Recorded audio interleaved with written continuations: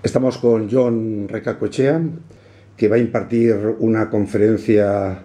este viernes 11 eh, de enero de 2013 ante el grupo G30 del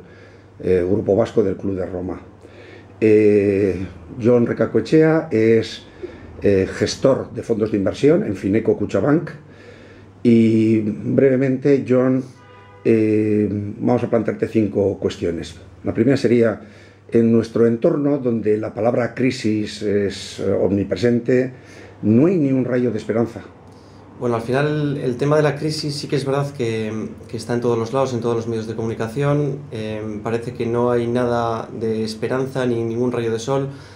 pero sí que es verdad que en el mundo globalizado en el que estamos tampoco tenemos que perder de, vista realmente que, hay regiones en, en, el mundo que están teniendo un crecimiento pues, muy bollante, por ejemplo, los países emergentes están creciendo por encima del 5% lo que se espera para este año. E incluso el PIB mundial se espera que crezca por encima del 3,5% gracias a, a, ese empuje de los países emergentes. Y también es verdad que, que, bueno, pues regiones como del mundo desarrollado como Estados Unidos también están creciendo, pues se espera que crezcan en torno al 1,5-2% para este año. Sí que es verdad que el mundo se, se, espera que siga creciendo, pero hay una mayor dicotomía eh, entre lo que son los países eh, emergentes o, o los que están en vías de desarrollo frente a los países más eh, occidentales. En, dentro incluso de la Unión Europea también hay países como Alemania pues, que siguen, siguen creciendo de forma importante, mientras que otros países más, los que llamados de la periferia, pues están decreciendo. Con lo cual, el mundo en general eh, sigue creciendo, con lo cual la palabra crisis no sería muy aplicable, pero sí que es verdad que está creciendo de forma desigual y por lo tanto hay algunos, algunas zonas geográficas, algunos países que esa palabra crisis está mucho más presente, como es el caso de España. Pero en nuestro entorno continental, ¿la crisis del euro sigue vigente? Bueno, parece que después de verano el tema de incluso lo del rescate de España, que había estado bastante, bastante en los medios de comunicación, de momento se está, se está dejando un poco de lado, ¿no? Aquí hay un tema que es muy importante, es el nombramiento de Trichet, eh, perdón, de eh, Mario Draghi en el 1 de noviembre del año pasado, de, bueno, de 2011, que sustituyó al francés Trichet eh, su nombramiento junto con otros nombramientos también en la cúpula directiva del, del, Banco Central Europeo han dado un toque mucho más amable, si se quiere, con los países que peor lo están pasando y han ido tomando determinadas decisiones eh, de política monetaria que lo que han hecho es pues, dar un poco más de aire, si cabe, a, esos países para realizar las reformas. ¿no? Eh, dicho lo cual, no significa que realmente los problemas de la zona euro estén solucionados, ni mucho menos. El problema económico sigue todavía vigente pero las intervenciones que ha tenido el Banco Central Europeo, eh, sobre todo con la intervención que tuvo eh, Mario Draghi en julio de este año, diciendo que el compromiso del Banco Central Europeo con el euro era irreversible y que iban a hacer todo lo posible para mantener la estabilidad de la zona euro, pues sí que ha dado un poco más de, tranquilidad. Pero lo único que están haciendo es ganar tiempo para que a nivel político eh, se lleguen acuerdos importantes, estructurales, con el fin de, dar un cambio a la, marcha económica de lo que es la zona euro en general.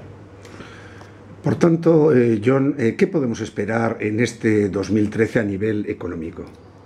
Bueno, a nivel económico, eh, tal y como decía, hay que distinguir también de qué zona geográfica nos estamos, a, qué zona geográfica nos estamos refiriendo, ¿no? Porque los países emergentes se espera que sigan creciendo, se espera que sigan creciendo por encima del 5%, con lo cual esos países, pues en principio pueden servir un poco también de tractores en relación a los países occidentales o los países más desarrollados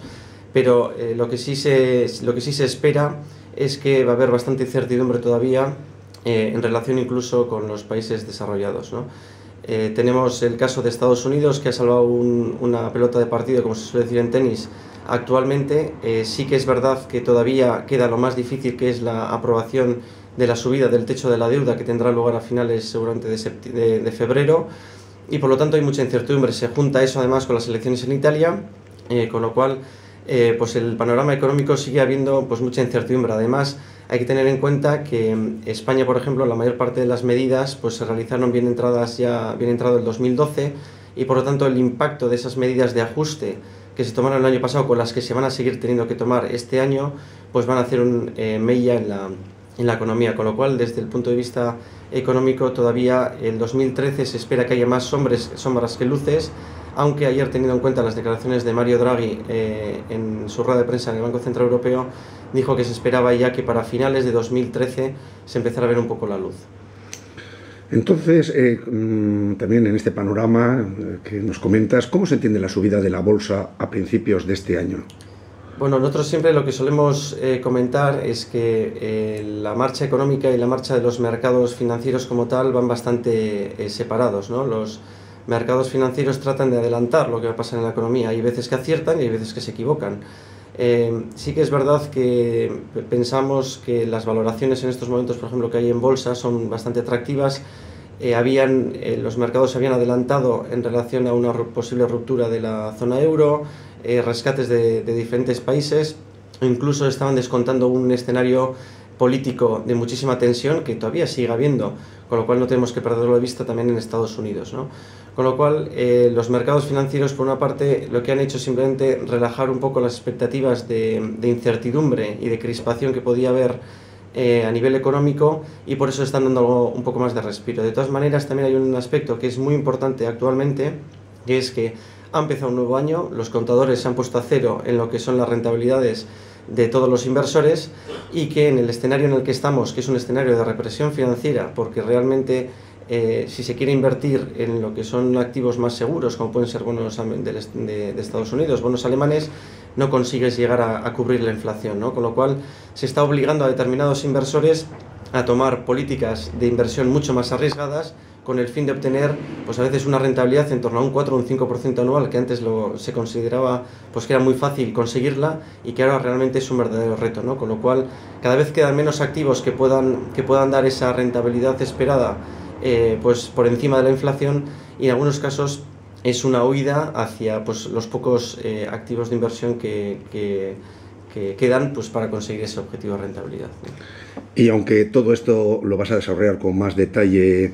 eh, la tarde de este viernes, de momento una brevemente, ¿qué podemos hacer con nuestro dinero remanente? Con bueno, pues esa, esa, esa, pregunta que realmente pues sí que sí que suele tener bastante preocupación eh, lo primero de todo, cada uno tiene que conocerse a sí mismo. Es decir, cuando preguntan si, si tienes que comprar telefónicas o BBVs o, yo qué sé, o, meter todo tu dinero a depósitos,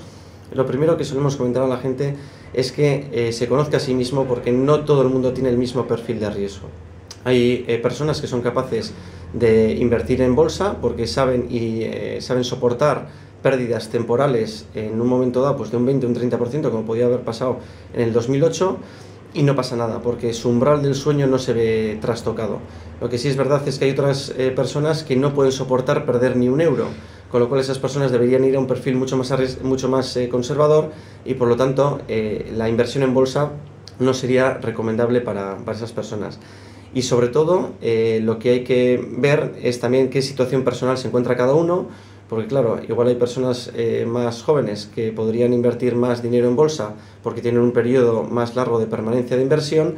pero las circunstancias actuales, pues que necesidades de liquidez, pues para pagos de hipoteca eh, o, para determinadas necesidades personales que tengan, pues le impide realmente eh, invertir en, en activos de mucho riesgo por si acaso en un momento tienen que vender rápidamente. Y luego, por último, eh, una cosa que es importantísima y que en muchos de los casos se ignora es el tema de la, diversificación. Eh, el hecho de tener en tu misma cartera pues BBVs, Telefónicas o Iberdrolas, en, en los casos más, más de aquí, más de, más de Bilbao, ¿no? más de Euskadi, eh, es recomendable, pero siempre en un peso determinado. Es decir, claro, no puedes invertir el 100% de tu patrimonio en tres valores porque al final en el caso de que vengan pues mal dadas, pues realmente es una apuesta muy muy eh, arriesgada. ¿no? Siempre diversificar en tipos de activos y zonas geográficas con el fin de poder eh, conseguir una rentabilidad objetivo de la forma consistente en el tiempo. Muchísimas gracias, John Recacochea. Es que ricasco.